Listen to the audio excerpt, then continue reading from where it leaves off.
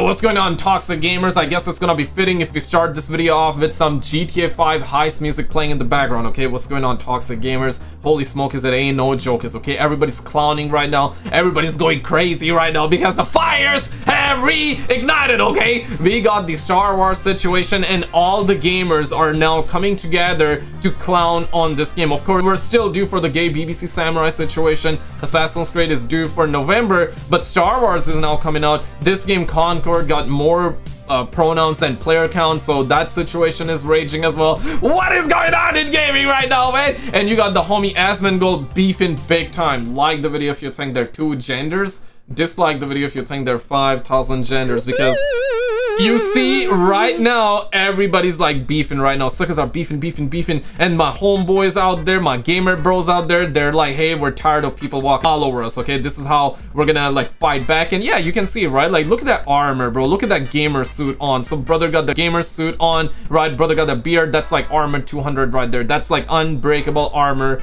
right there okay? With that spirit with this uh information in mind let's actually get right into it. I don't think you guys are ready ready for this one. Clench your butt cheeks, boys. Roll it. So this is like a cinematic here? Yeah, yeah, he wouldn't. But he told me you could mod my speeder. Uh, yeah. Isn't that that character from Concord? Yeah, of course.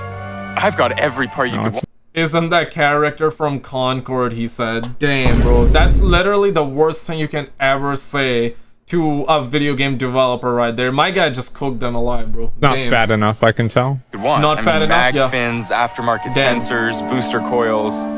How about a hydro Wait for it. Oh. Uh. No. You just said every part I could want. I mean, I could slap the repulsor on there now. That's no problem. But without some good Durasteel struts, it'd shake loose in a day or two. Yeah, he wouldn't. But he told me you. It's really sad, bro. And these are the people that say AI looks bad. This looks mm. like an AI from 2021. Like, Holy. you know, if she pulled her hand up, she'd have like nine fingers. Damn, that is crazy, bro. Holy man. Yo, tranquilo, papi, right there, man. This this is insane, and you're not gonna believe this one. So the homie, apparently, Geeks and Gamers came out of before I show you this clip right here. Look at that, man.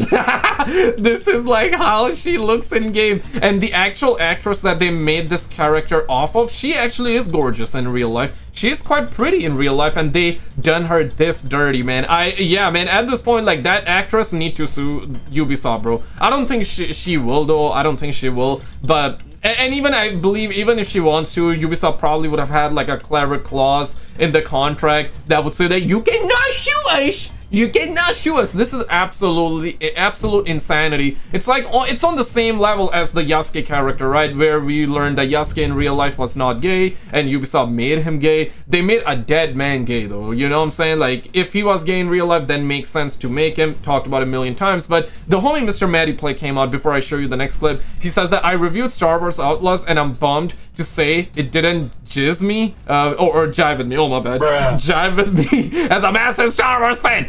Andromeda level motion capture! Constantly forced and frustrating stealth segments without the proper, uh, proper mechanics to support it. Huge, huge missed opportunity and I hate the fact that every time like that this ass grok comes on Huge missed opportunity with the reputation system that is extremely easy to manipulate. Nick, she's cute, and the world look pretty you know, yeah! And he shared this gameplay as well, right? Look at that. He shares that, and you see like the AI, the gameplay level, right? Coming up, it's coming up. So you got this in the game.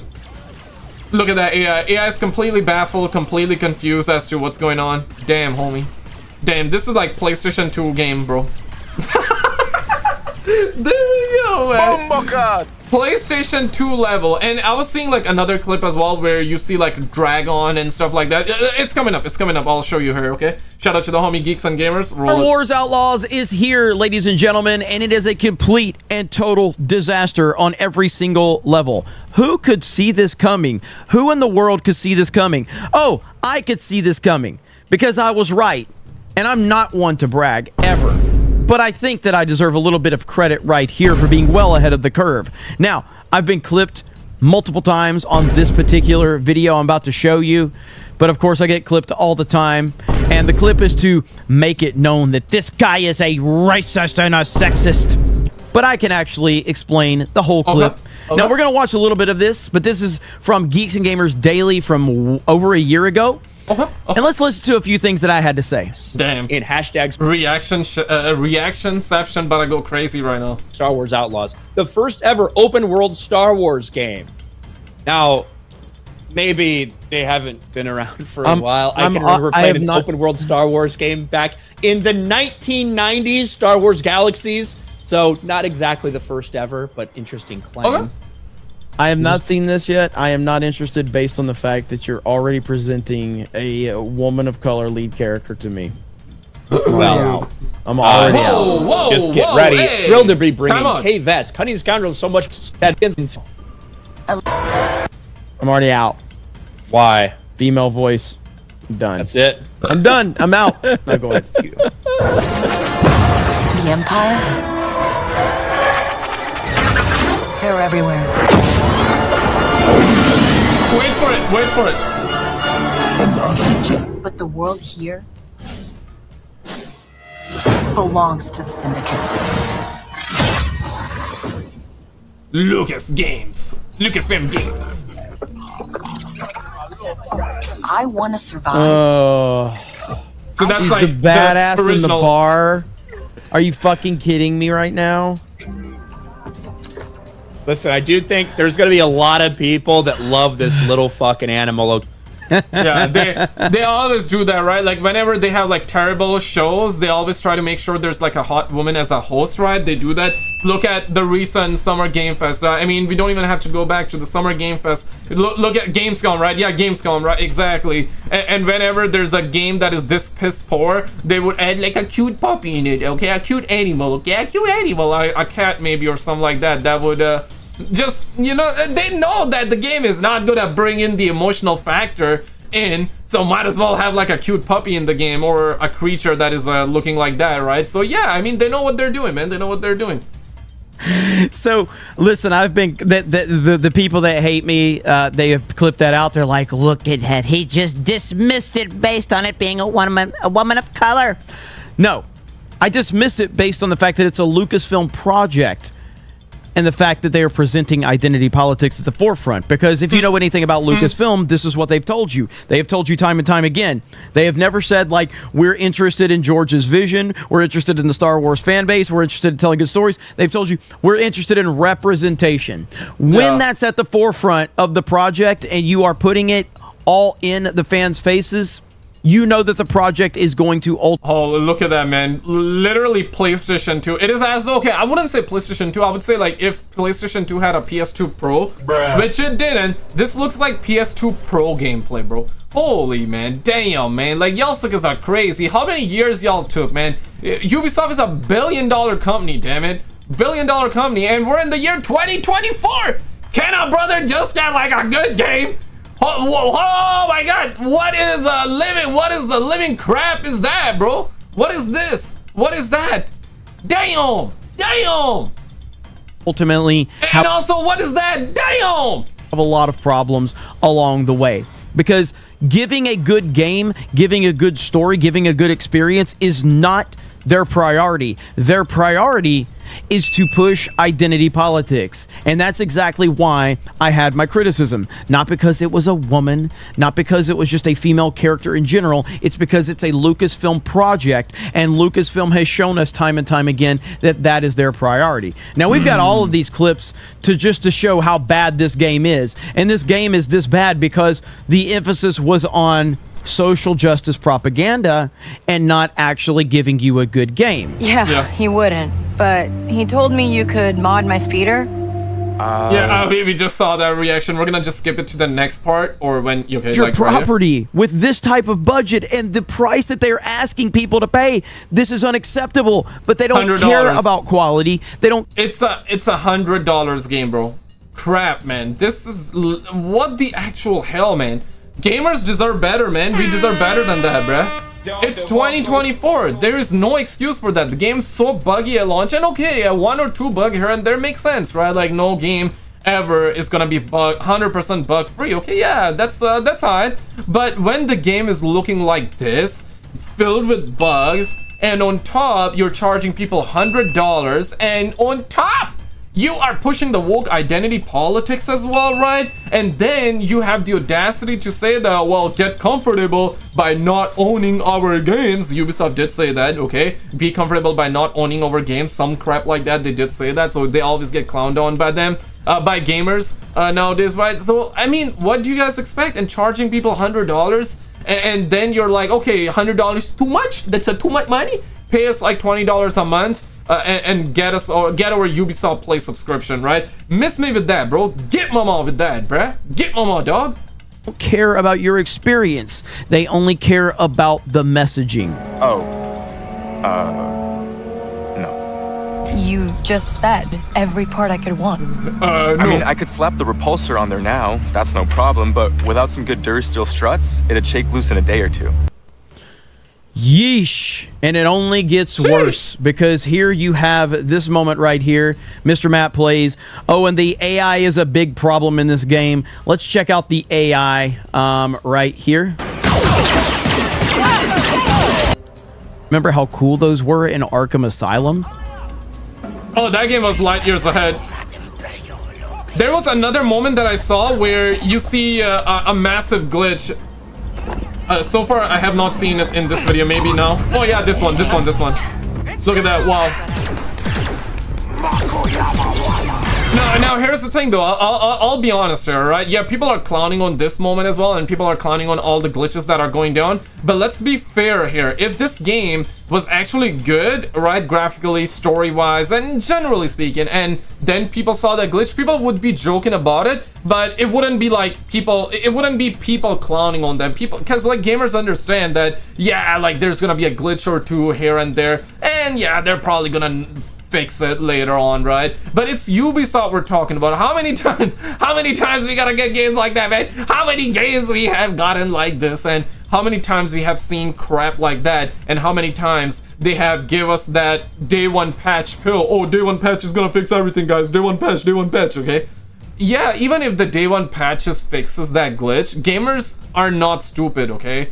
Even if uh, even if day one patch fixes it, What's gonna fix this? What's gonna fix that? Yeah, nobody can fix this anymore, bruh. Nobody can, uh, except for maybe the modders, right? Like maybe modder modders on the PC, they're gonna fix it. But like, damn, man, damn, what we talking about? Like, look at this bland ass game, bruh. Damn, man. And when you got Mr. Matty plays uh, actually clowning on the game, and in the video he said that shout out to Ubisoft for giving me the code, bruh. I don't know if they're gonna give you next time, bro. Just just because you said that. But we over we over here at Stud Muffin Nations, we over at Gamer uh, Federation. I would like to salute Mr. Matty Plays. I would like to salute Mr. Matty Plays for being honest and uh, you know being honest, essentially. Not even taking the gamer's side. He's taking the gamer's side, which is good. But it's not even about that. Just being honest, right? Not even taking the gamer's side. It's about being honest, alright? So, yeah, man. Shout out to him. But, uh-oh, wait for it. You can tell what the focus of a project is in terms of how it's presented in the beginning. This is the whole focus behind Star Wars Outlaws is to push identity politics. That's it. A handful of players have discovered another ridiculously bad bug in Ubisoft Star Wars Outlaws that sees another. a player character, Kay Vess, slide across the game's map after attempting a stealth assassination, and that's the clip we just showed you right there. Uh, uh, pump the brakes, though.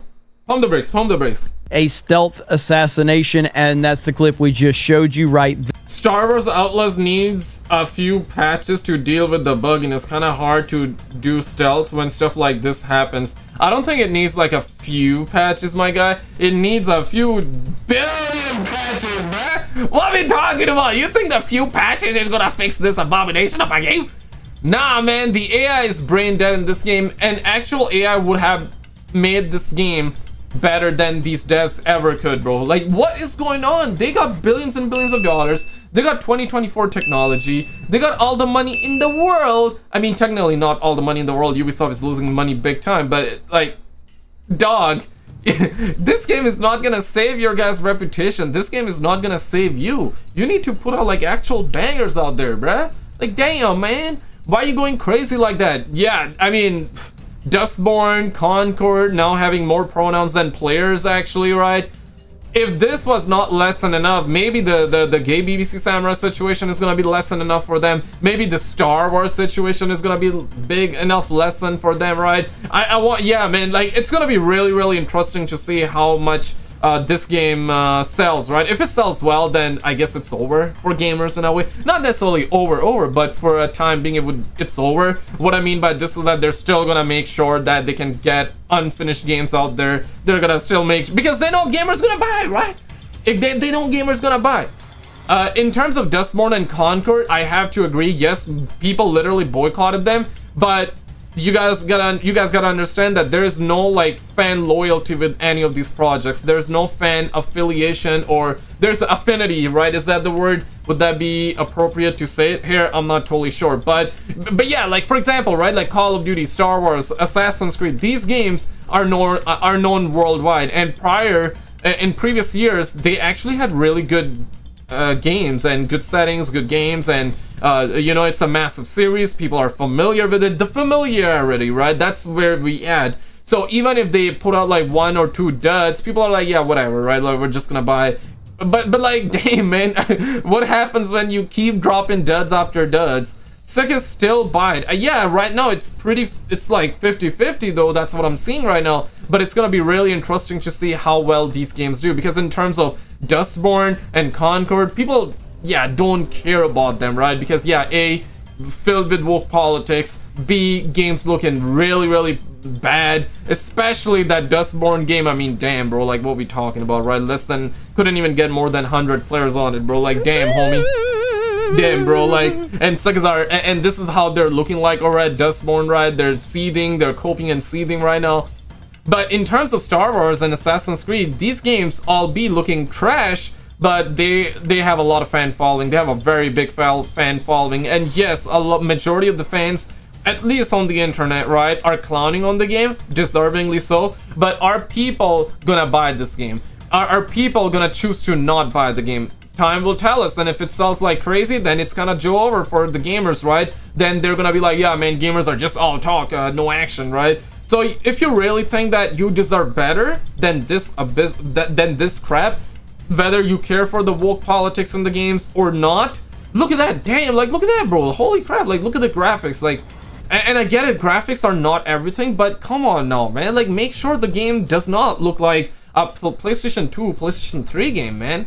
Like, what we talking about? PlayStation 3 games have been better than this junk, though. Yeah, I, I, mean, if you think we deserve, if, if you think that we deserve better than this, man, what with what with your with your wallets, bro? But wait for there, it. um, and people are finding all types, all types. Um, I mean, it's just absolutely insane.